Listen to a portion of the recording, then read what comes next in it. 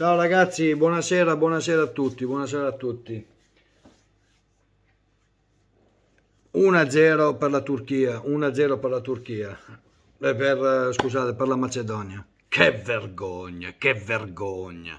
Questo è lo specchio del calcio in Italia. Mediocri, siamo mediocri. Noi siamo mediocri. Questa è la mentalità italiana. Non c'è niente da fare, non c'è niente da fare.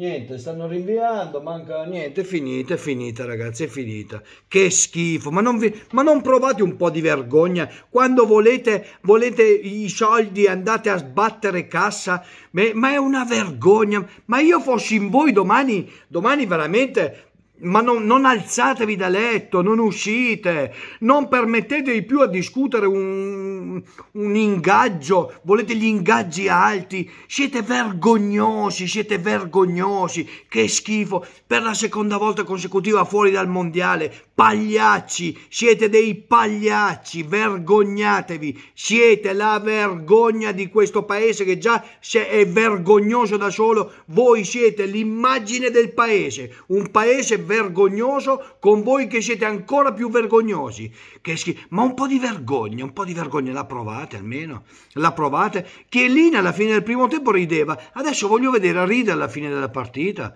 che schifo, ma come si fa con la Macedonia? Con la Macedonia! Con, ma io solo, cioè solo a nominare Macedonia.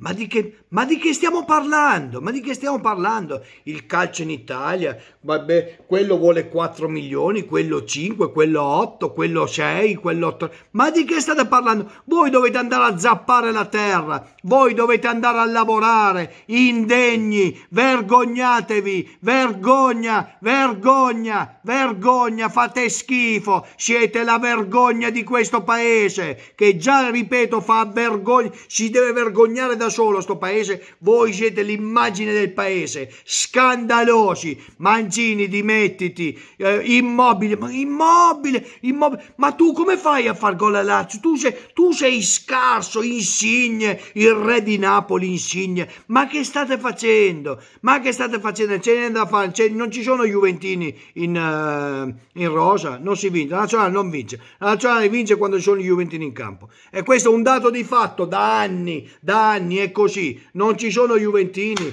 fate cagare, vergognatevi e chiedete scusa alla nazione intera, vergognatevi.